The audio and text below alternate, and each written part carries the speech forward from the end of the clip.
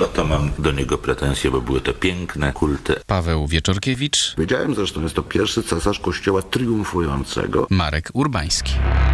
Piękne i bestia.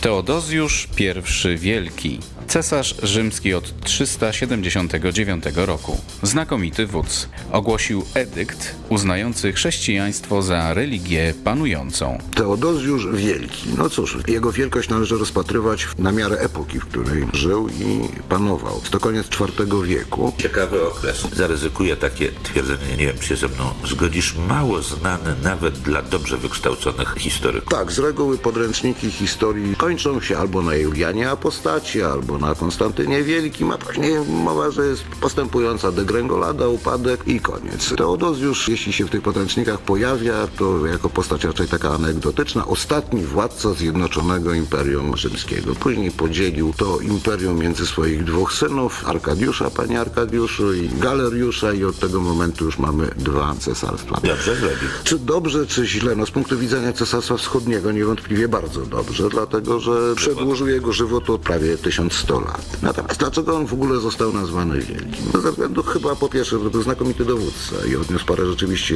imponujących, błyskotliwych zwycięstw nad e, barbarzyńcami. Popełnił mnóstwo błędów. Zarzuca mu się traktat z Wizygotami, że wpuścił w ogóle Gotów do imperium, którzy zachód imperium rozłożyli natychmiast po jego śmierci na obie łopatki. Jego dowódcą był Stylichon, wandal z kolei, już nie muszę chyba mówić, czym się później wandale wsławili. On jest wielki przede wszystkim dla chrześcijan. Dlaczego? Mimo, że sam ochrzcił się dopiero już jako cesarz w 380 roku chyba, z rodziny podobno pochodził od dwóch pokoleń chrześcijańskich i zrobił dwie rzeczy, które przesądziły o kształcie chrześcijaństwa w Europie Zachodniej, krótko mówiąc w Europie w ogóle. Po pierwsze, poparł Sobór Nicejski, czyli tę wersję chrześcijańskiego katolicyzmu, bo już tak można powiedzieć, jaką większość Europy katolickiej wyznaje po dzień dzisiejszy. I jest to pierwszy cesarz epoki Kościoła triumfującego. On w 392 roku zakazał uprawiania na terenie cesarstwa wszelkich form kultu pogańskiego. I oto mam do niego pretensje, bo były to piękne kulty, a formy jeszcze bardziej Była interesujące. to decyzja polityczna, dlatego że dwa lata wcześniej pojawiło się kilku pretendentów, których wsparł pogański jeszcze w znacznej mierze konserwatywny senat, z którymi on musiał stoczyć dość ciężką wojnę domową. A nie żałujesz tych niektórych Ależ kultów? oczywiście, że żałuję. Tyle, że tłumaczę po prostu motywy, jakie mnie nim powodowały. Powiedziałem zresztą, jest to pierwszy cesarz kościoła triumfującego. Kościoła, co też ciekawe, który wielkim głosem dopominał się tolerancji, póki do władzy nie doszedł. W momencie, kiedy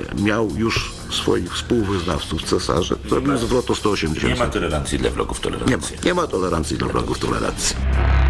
Piękne i bestia.